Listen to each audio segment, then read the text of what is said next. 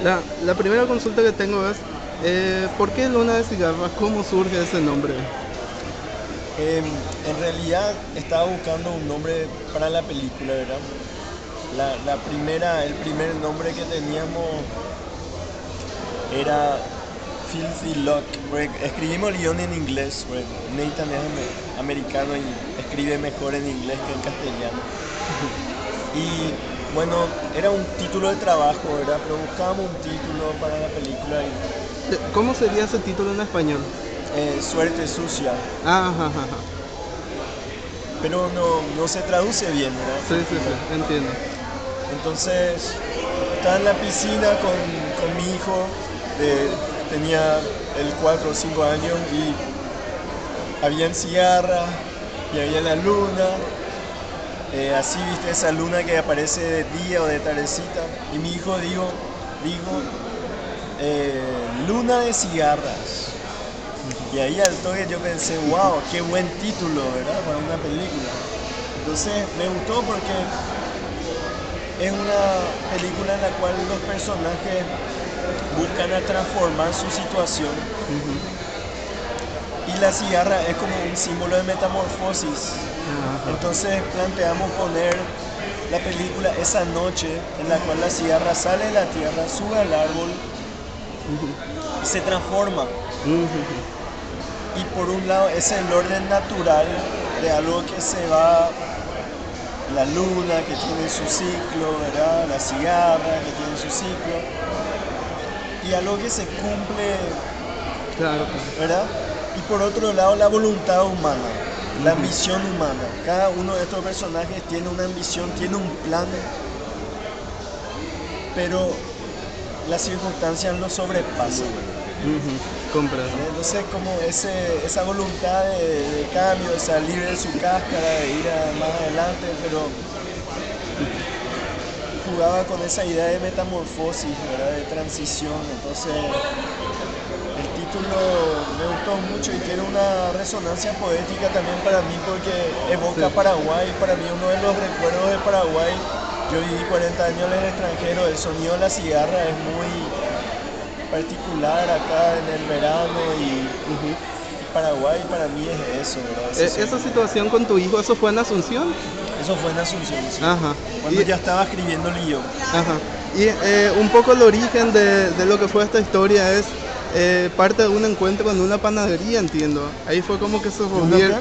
un poco el, el- la antesala de lo que es este proyecto, parte un poco de una reunión en una panadería, entiendo, como anécdota, ¿no? En realidad es un lugar que se llamaba La Panadería, pero no, no era una panadería, Ajá. era un, un atelier, un taller en la cual se reunían los, los directores de cine para discutir eh, cómo llevar adelante. Y habían otros también que no eran directores de cine, pero habían directores de arte, habían directores de fotografía, habían todo un grupo de personas que estaban pensando cómo, cómo llevar el cine adelante. Y yo caí ahí, ¿verdad? Recién llegado.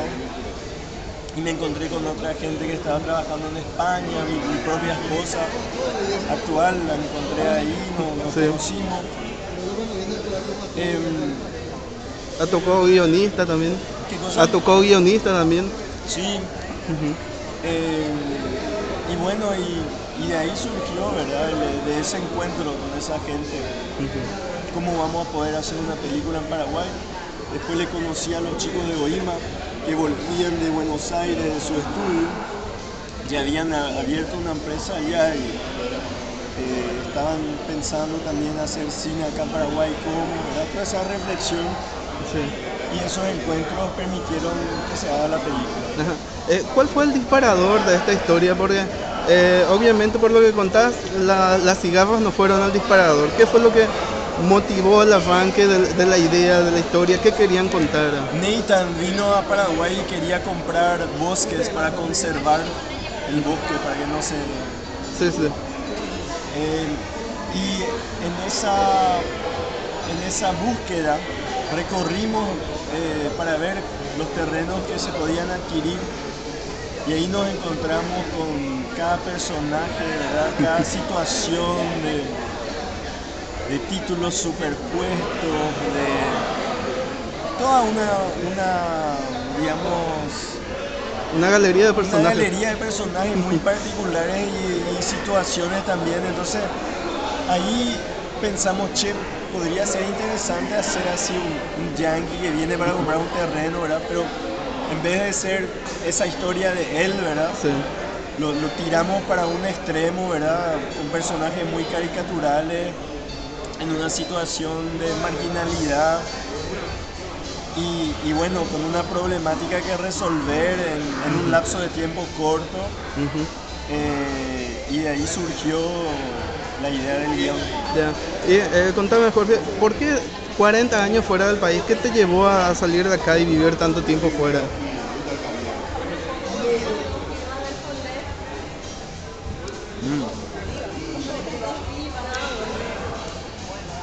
Mis padres estudiaron en Francia.